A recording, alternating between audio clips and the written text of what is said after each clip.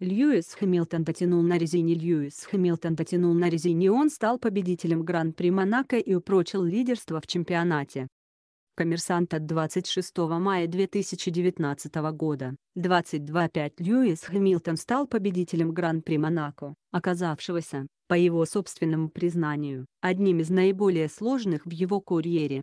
На протяжении большей части гонки британец был вынужден биться не только с соперниками, а еще с собственными покрышками, не позволявшими раскрыть потенциал его Mercedes. Но несмотря на это, Хэмилтон дотерпел до финиша. Вторым в итоговом протоколе оказался Себастьян Феттель. Третье – Валтери Ботас. Российский гонщик Trorosso. Данил Квят финишировал седьмым, и это его лучший результат в нынешнем сезоне. Пять предыдущих гонок сезона завершились дублями в исполнении гонщиков. Mercedes. И от Гран-при Монако тоже ждали такого же итога. Ряд специалистов, например, спортивный консультант Red Bull. Хельмут Марка, даже считали дубль Mercedes. неизбежным. На господина Маркова большое впечатление произвели результаты тестов, состоявшихся в середине мая в Барселоне. На них тест-пилот Mercedes. Никита Мазепин показал лучшее время. Он оставил позади не только таких же, как и он, тестеров, но и второго номера, Ferrari. Шарля Леклера, опередив его на 1,5 секунды. Если не самый опытный гонщик из Формулы-2 показывает лучшее время, это означает, что Mercedes. сейчас на голову сильнее всех, констатировал Хельмут Марка. Он также отметил, что Ferrari. в Монако, если только Скудерия срочно не решит вопросы с недостаточной прижимной силой, ничего хорошего не светит. И предсказал, что Red Bull. вполне способен бороться за место на подиуме. Прогноз Хельмута Марка оправдался не полностью. Да, Mercedes. был вне конкуренции в квалификации. Льюис Хэмилтон и Валтери Ботас заняли первые два места.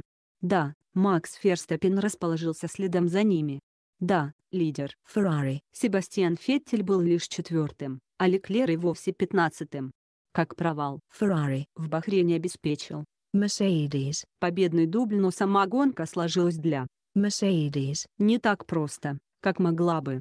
Ключевым фактором, обеспечившим Гран-при Монако, нечасто балующего болельщиков зрелищной борьбой, стало то, что на пит-стопе механики Red Bull. неосторожно дали зеленый свет Ферстаппину и в итоге голландец столкнулся с Ботасом.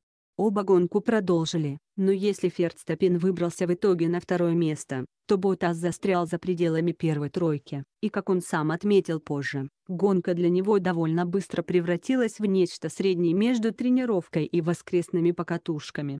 Ну а как иначе, если обгонять в Монако почти нереально? Хотя, скажем, Данил Квят, не слишком удачно стартовавший, он откатился с седьмого на девятое место, вполне отыгрывал позицию и финишировал седьмым. И это лучший результат россиянина в этом сезоне. Хотя для спортсмена, в карьере которого был и финиш на второй строчке, в Венгрии в 2015-м, седьмое место явно не предел мечтаний. Выключение Ботаса из борьбы означало, что Хэмилтона, случись что, будет некому прикрыть. А оно случилось. На протяжении почти всей дистанции пятикратный чемпион мира только и жаловался на резину, интересуясь, кому в команде пришло в голову использовать именно этот комплект покрышек. Был даже момент, когда Хэмилтон заявил, что гонку он проиграет, потому как машина не слушается. А вот у летевшего следом Ферстаппина все работало как надо. Проблема в том, что голландцы за контакт с Ботасом наказали пятисекундным штрафом. А значит, ему не только нужно было обгонять чемпиона, но еще и отрываться от него на 5 с лишним секунд. Но как ни старался Ферстаппен, даже до обгона не дошло. Впрочем, заставит попотеть Хэмилтона, назвавшего после финиша Гран-при Монако одной из сложнейших гонок в своей карьере, он сумел. В итоговом протоколе Хэмилтон остался первым, увеличив отрыв от Ботаса в общем зачете до 17 очков. Вторым был Феттель, третье, собственно Ботас. Ферстаппин же с учетом штрафа откатился на четвертое место. Александр Петров,